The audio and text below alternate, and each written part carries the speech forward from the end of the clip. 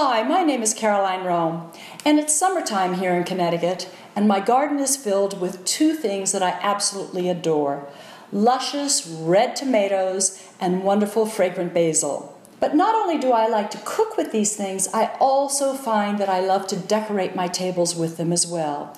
You'll see this in this video. I hope you enjoy it.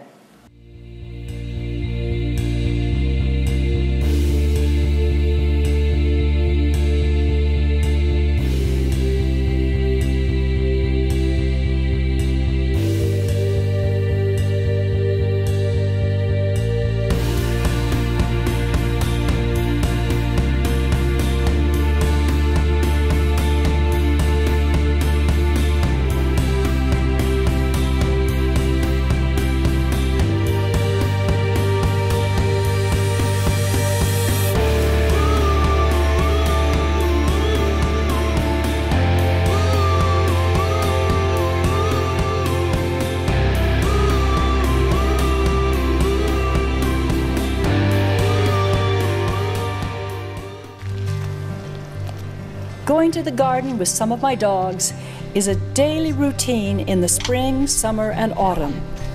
Come on, kids. As much as I love my flowers and gardening in general, I get a very special, visceral, or almost grounded feeling when I pick the vegetables and fruit grown at Weatherstone. My grandmother always planted marigolds in her garden to ward off certain pests.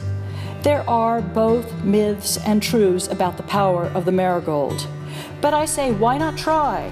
Hey, there's the monster. We grow masses of basil for daily use, but we also harvest it to have homemade pesto sauce throughout the year. Homemade pesto sauce is my go to ingredient for easy seasoning for soups, pasta sauces, meat, fish, and chicken. I use it for so many things. I learned this years ago from a wonderful Corsican cook that pesto works with so many, many foods. So let's go back to the kitchen and get to work on our preparations.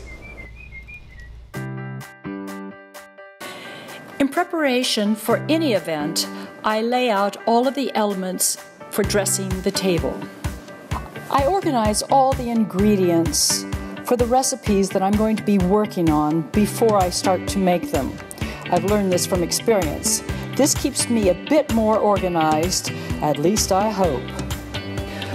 For the yummy tomato tart, please go to my blog for the actual recipe at carolyneroehm.com. My favorite pastry dough is prepared in advance. And as it chills, I work on the tart filling, which is also very easy.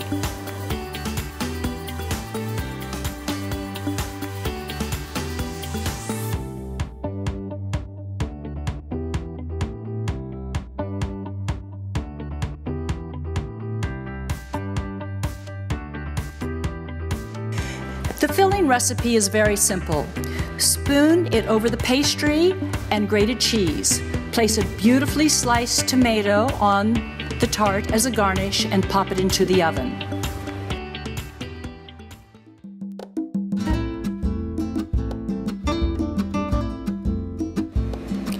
Summer is obviously the perfect time to dine al fresco. And for me, the most fun in any preparation is setting the table. This one consists of a simple decoration from the garden of bunches of tomatoes and bouquets of basil.